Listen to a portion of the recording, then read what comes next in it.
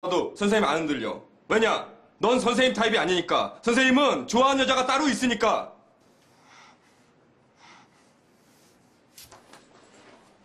아니, 윤희야. 윤희야! 엄마 여기 왜 왔어?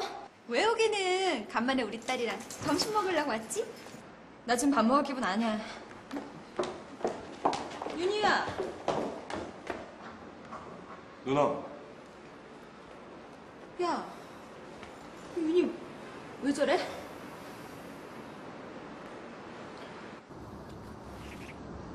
윤희한테 그렇게 말해서 화났어요? 아니. 가끔은 그렇게 따끔하게 말을 해야 윤희 걔가 정신을 차리지. 근데 딸내미는 속상해서 밥도 굶고 있을 텐데 엄마란 사람이 너랑 밥 먹으러 온 게 미안해서. 그렇다고 밥 굶을 거예요? 안 됩니다. 안 돼요. 자, 내가 누나 대신 점심, 저녁 다 굶을 거니까 누나 얼른 먹어요. 자, 아니야.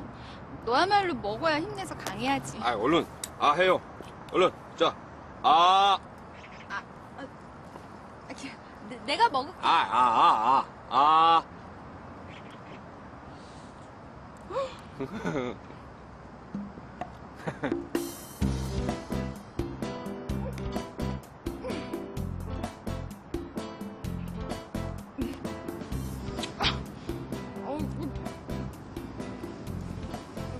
맛이 왜 이래? 볶음, 볶음밥이 아니라 완전 볶음 소금이네? 어, 왜 이러지? 미안해, 내가 너 만날 생각이 들떠가지고 소금 뿌릴 때 정신줄을 안 놔봐.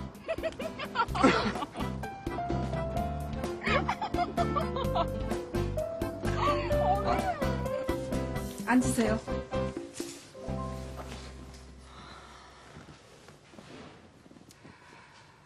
어제 음식 아주 잘 받았어요. 우리 호세랑 혼다 모간집에서 아주 흡족해 하더군요. 여기 재료비하고 수고비예요. 네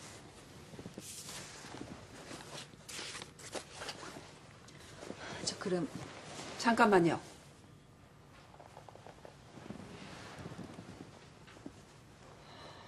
단도직입적으로 물어볼게요. 어제 음식 심부름 보낸 그 아가씨 태영이 어머니하고 어떤 사이예요? 새벽에요? 네, 새벽인가 뭔가 하는 그 아가씨. 도대체 그 집하고 무슨 상관이길래 심부름을 보낸 거예요? 얼마 전부터 우리 집에서 살고 있어요 같이 산다고요? 혹시 친척이에요? 친척은 아니지만 우리 가족하고는 특별한 사연이 있는 아가씨인데 왜 그러세요? 아 대리 맞선 얘기라면 저도 알고 있어요. 아세요? 들어보니까 순전히 새벽에 잘못만은 아니던데요. 손바닥도 마주쳐야 소리가 난다고 젊은 애들끼리 얽히고 설킨 것 같은데 전적으로 새벽이한테만 책임을 물으시면 안 되는 거죠. 비단 대리 맞선뿐만이 아닙니다. 아주 당돌하고 맹랑하게 이를 데 없던데. 아니, 피부치도 아니라면서 그런 애를 뭘 믿고 집에 들인 거예요? 어제도 우리 호세방에서 아유, 관두죠. 그런 것까지 시시콜콜 말할 사이도 아니고.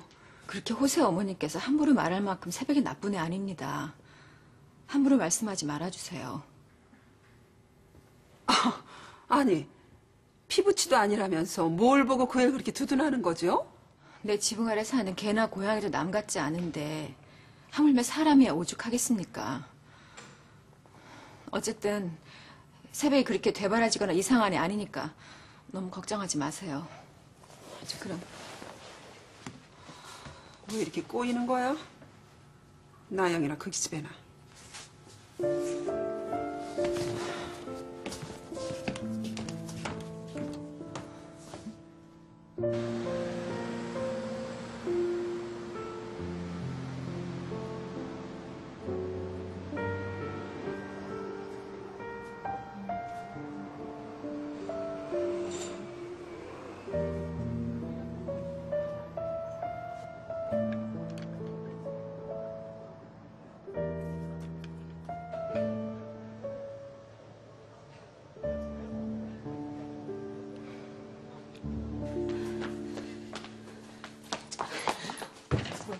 어머니가 세게 나오셔야 돼요.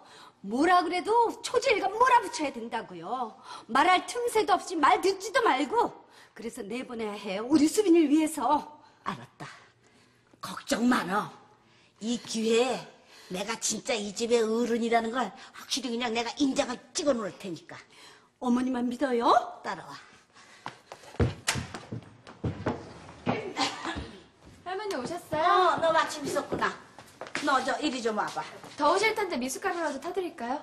들어오려면 냉큼 따라 들어올 것이지 무슨 참말이 그렇게 많은 거. 네. 너 참 맹랑한 애더구나.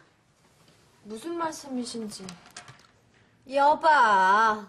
누구지 귀한 딸 맞선 걸레장 만들어 놓고는 시침이 딱 되는 것 좀 봐.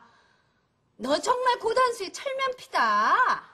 그 일은 잘 해결된 걸로 아는데. 아유 여러 말 말고 너 당장 내 집에서 짐 싸들고 나가거라. 네? 내 소녀딸 가슴에 피멍들게 하고 두 눈에서 눈물 흘리게 한 너를 이 집안에서 두고 보고 있기 싫어 나는. 너도 참 염치 없다. 부모 잃고 집도 절도 없이 눈칫밥으로 굴렀다지만 우리 수빈이한테 그러고 너 어떻게 이 집에 있을 생각을 하니? 딴 식구 없을 때 조용히 나가거라. 들어오면 내가 다 얘기해 줄 테니까. 아니에요, 어머니. 저희 안 내보내요.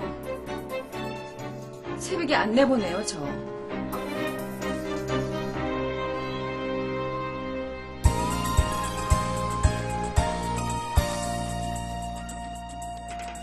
너 지금 보자 보자 하니까 누구 편을 드는 거야? 우리 어머니 서러워서 어떡해요? 며느리로서 당연한 일 하는 거죠. 안방 침대 좀 봐줘요. 어머니 거기서 주무시게.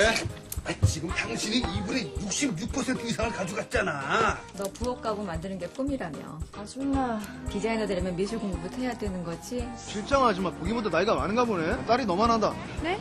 호세 씨가 제 걱정할 필요 없잖아요. 안에서 팔짱 끼는 여자애 다르고 밖에서 손목 잡는 여자애 다르고 다 그렇게 살아? 네가 상관할 바 아니잖아.